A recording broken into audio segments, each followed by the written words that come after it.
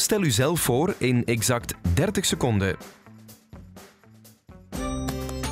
Hallo, ik ben Bieke Verlinden, ik ben schepen in Leuven, bevoegd voor zorg en welzijn, wijkwerking, begraafplaatsen en voorzitter van het bijzonder comité. Ik ben ervan overtuigd dat ik eh, van op die eerste opvolgersplaats eh, voor het Vlaams parlement mee ook mijn steentje kan bijdragen om mijn lokale ervaringen ook op het hogere niveau kenbaar te maken en ook op die manier te vechten of te strijden voor zekerheid voor alle eh, Vlamingen en in bijzonder ook alle Leuvenaars. Waarom stapt u in de politieke strijd?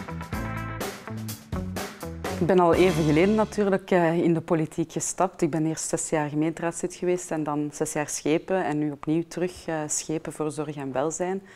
En uh, doorheen mijn ervaringen die ik al opgelopen heb als schepen, merk ik toch dat eigenlijk heel veel verstrengeld zit met de hogere niveaus. ik ben bijvoorbeeld lang bevoegd geweest voor kinderopvang en zorg en welzijn.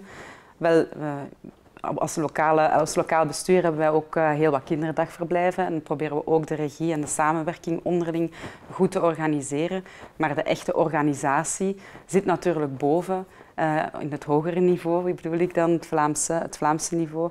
En uh, ja, daar heb ik toch ook wel een aantal opmerkingen over, over hoe het beter kan en over ook hoe we beter kunnen inspelen op uh, arbeid en gezin en afstemming van een goede privébalans. Welke quote heeft u gekozen? Ik denk, ik denk dat ik me daar eigenlijk vooral end op uh, waar we eigenlijk allemaal als socialisten voor staan. Zekerheid voor iedereen.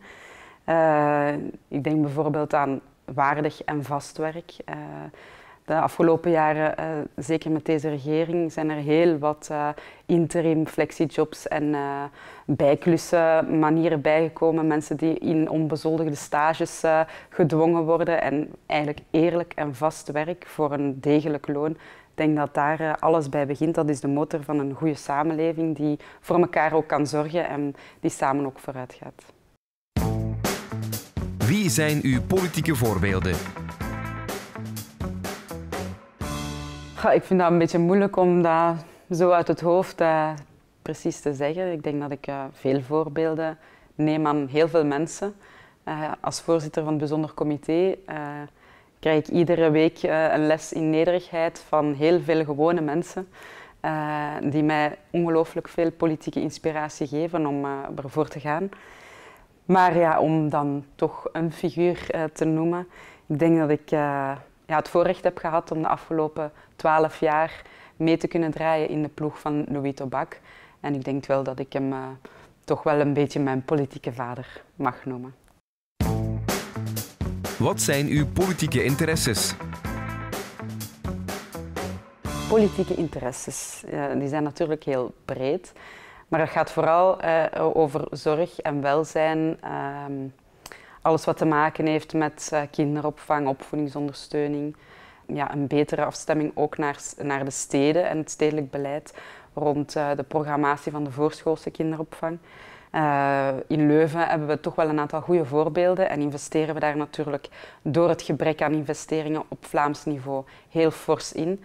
En ik denk dat we daar ook uh, ja, toch zeker ook uh, op Vlaams niveau beter zouden naar moeten kijken. Het kan niet zijn dat de klusjesman uh, met 80 kinderen na de schooltijd op de speelplaats staat en toezicht staat te houden, terwijl dat, dat ontzettend kwaliteitsvolle uren kunnen zijn waar dat heel veel spel, ontspanning, maar ook kennis en creativiteit kan gedeeld worden. Dus in die zin zou ik heel graag ook willen dat die naschoolse opvang ja, een, een een kwaliteitsvolle tijd is voor elk kind. Wat kan er anders en beter in de politiek? Ja, ik denk, ja, politiek is bij uitstek uh, een stuk ja, debat en elkaar overtuigen, maar toch merk ik dat, het, dat er niet altijd even goed geluisterd wordt naar elkaar. En in die zin uh, zou ik toch wel willen pleiten om goed te luisteren, ook naar zij die in het veld staan en concreet ook dicht bij de mensen. Uh, nogmaals, het lokale niveau is voor mij daar een enorme inspiratiebron om te weten waar dat de moeilijkheden liggen, waar mensen uh, zich doorworstelen soms, of waar dat eigenlijk uh, de spanning zit tussen uh, werk en privé. Dus in die zin hoop ik dat er meer naar elkaar geluisterd wordt. Welk voorwerp heeft u meegebracht? Ik heb twee boeken meegenomen die mij geweldig geïnspireerd hebben. Eén van Eddy van Tilt. Hij zelf is hij welzijnswerker, psycholoog, eh, lang actief geweest ook bij pleegzorg en Oikonde. Dat zijn uh, Leuvense organisaties. En hier ook een boek van uh, de Nederlandse auteur Victor Broers. Uh, waar toch eigenlijk duidelijk in, in beide boeken aan bod komt dat, uh, ja, hoe dat je de samenleving vorm, vormgeeft uh, en ook heel ons economisch denken, dat dat een keuze is, dat dat geen wetenschap is en dat we dat samen ook vorm kunnen geven. En vooral ook heel ons welzijnsdenken, alles wordt veelal in cijfertjes uitgedrukt. Terwijl dat, uh, en, en in directe kosten- en batenanalyses gegooid.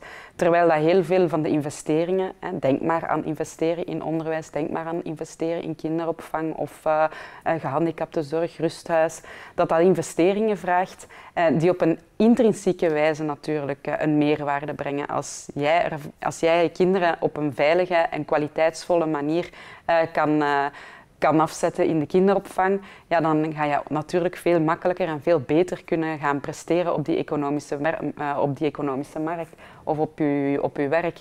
Uh, dan ben je ontzorgd en kan je er ook voor zorgen dat je natuurlijk ook uh, je beter kan inzetten voor je, je dagdagelijkse activiteiten en je, je privé- en werkbalans. dus in die zin pleit ik ervoor om niet zomaar neer te leggen bij uh, de cijfertjes en de kosten en de, en de baten die dan op direct niveau berekend worden, maar echt wel te focussen op wat brengt het eigenlijk de samenleving op. En uh, ik denk dat je zeker op vlak van openbaar vervoer, onderwijs, alle openbare diensten, daar toch wel heel wat voorbeelden van kan geven, dat we daar als samenleving dan natuurlijk ook wel een pak op vooruit gaan, als er daar op een goede manier in geïnvesteerd wordt.